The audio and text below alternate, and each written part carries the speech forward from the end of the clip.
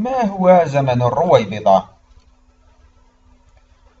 يشير المعنى اللغوي للرويبضة إلى الشخص السفيه وغير القادر على الخوض في الأمور الحاسمة والكبيرة والذي لا يملك من الأمر شيئا فيفضل التزام بيته عن الاختلاط مع الناس أما المعنى المستفاد من الحديث الشريف الوارد عن النبي محمد صلى الله عليه وسلم فهو يؤكد أنه سيأتي زمان على الناس يصبح الرجل السفيه هو صاحب الكلمة والحكم والناهي في قضايا الناس الكبيرة فيساهم أخذه لهذا المكان في تضليل الناس وانتشار الفساد ما هو زمن الرويبضة؟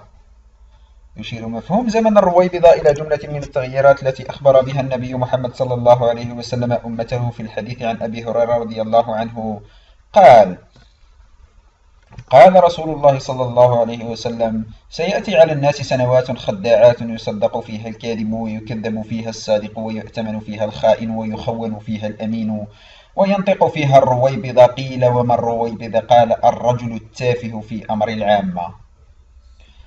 يشير العديد من علماء الدين اليوم إلى أننا قد وصلنا إلى هذا الزمن حيث السفيه يتكلم في يده أمر أمته في حين العاقل لا يجد له مكانا بين أفراد أمته. وأكد النبي محمد صلى الله عليه وسلم بأن زمن الرويبضة هو علامة من علامات اقتراب الساعة.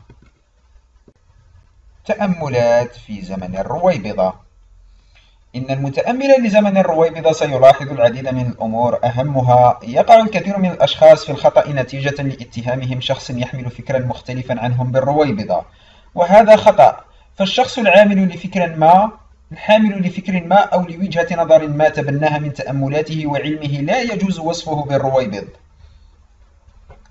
يجب أن يستند الاستدلال على صحة فكر ما أو رأي ما بالحجة أو الدليل أو المنطق. لا يرتبط العلم والرويبضة بالسن فقد يكون الأكبر سنا أقل علما ومعرفة من غيره لذا لا يجوز الحكم على ناطق لمجرد صغر سنه. يجب أن يستند اتهام شخص ما بالرويبضة إلى الشرع فقط. ويمكن اشتقاق العديد من صفات الرويبضة من خلال الأحاديث النبوية الشريفة فالرويبض شخص غير عالم بأمور دينه ولا يفقهها. يدعي أن الأمر والدين يهمه وأنه يطالب بالحق والعدل ولكن في الواقع هو عكس ذلك. يبحث الرويبض عما يلبي احتياجاته وأهوائه دون الاكتراث لغيره من الأمة. يدعي الروابض العلم والتقوى ويتفنن في إيجاد مخرج دوما لفساده وفساد حاشيته كما أنه يقوم الباطل على الحق.